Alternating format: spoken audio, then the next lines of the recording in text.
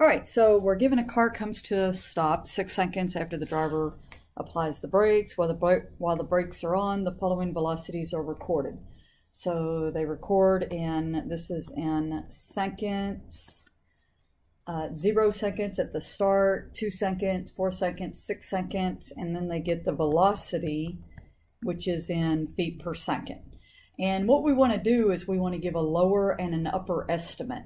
So you could just, you know, simply pick values on the left of the table, meaning something like those, and then pick values on the right and multiply them by two, since the distance is uh, between each second is two seconds.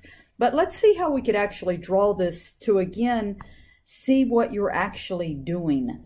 So if I make this my second axis and this my feet per second axis, then at zero, I'm like somewhere up here at 98, so we'll put a point there. At two seconds, I'm at 45, so we'll put a point about right there. At four seconds, I'm at 22, so put a point right there. And then at six seconds, I'm at zero feet per second.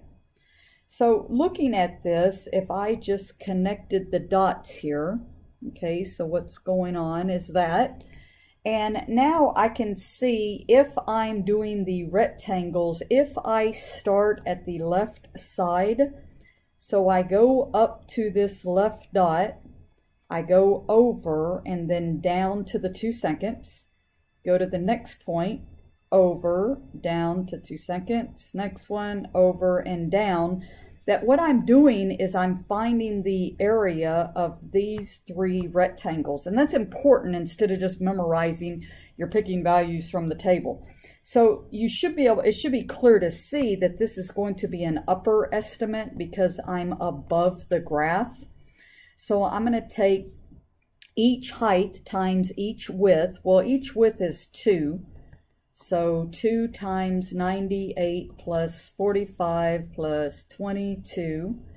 And when I do that, I get 330 feet.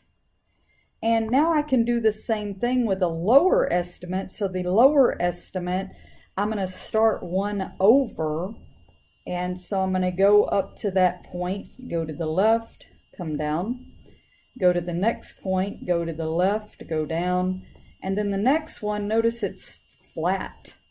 And so now I'm finding the area of these three, which the last one we're going to see the area is zero. So then a lower estimate would be 2 times 45 plus 22 plus 0, and I get 134 feet.